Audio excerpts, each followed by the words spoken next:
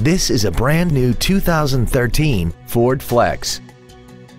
This crossover has an automatic transmission and a 3.5-liter V6. Its top features include a navigation system, XM satellite radio, traction control and stability control systems, big 18-inch wheels, and a tire pressure monitoring system. The following features are also included.